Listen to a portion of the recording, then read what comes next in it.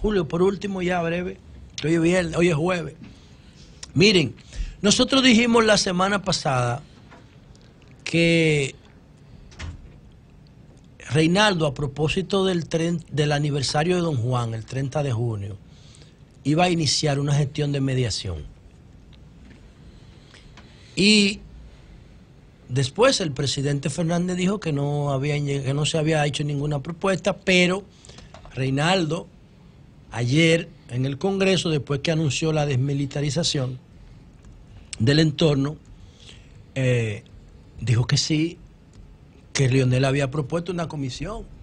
Lo que pasa es que Leonel, eh, que Danilo, cuando Reinaldo fue con el mensaje donde Danilo, Danilo dijo, pero es que yo no he tomado una decisión sobre eso. Y eso ya, esas dos señales de Reinaldo, yo pensé que se necesitaba una comisión más amplia, que él la dirigiera, que la liderara, pero miren, no se necesitó, él solo lo hizo. Y yo creo que eso es un punto importante y la gente podrá decir, bueno, la Luz, Leonel y Danilo que se maten, eso es problema de ellos. No, no. Hay un paquete de decisiones, de políticas públicas ahora mismo que están paradas, paralizadas por esa crisis interna del PLD, esa crisis electoral que tiene el PLD. Leonel Fernández y Danilo Medina y el comité político son el grupo de poder más fuerte de este país. No hay otro grupo que tenga tanto poder como ese. Entonces, todo lo que le pase a ellos impacta al país. La forma en cómo ellos gestionen ese liderazgo y la forma como ellos se comporten entre ellos mismos.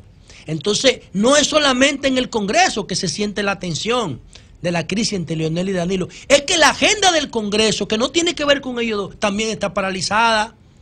Y de ahí dependen muchísimos procesos de inversión pública, de mejoría de calidad de vida para la gente. Todo está paralizado en el país. Entonces, por eso es tan importante, más allá de la suerte interna que pueda correr el PLD, de que esta gestión de Reinaldo nosotros la apoyemos todo para ver si Leonel y Danilo Se encuentran un punto de avenencia. Cambio y fuera.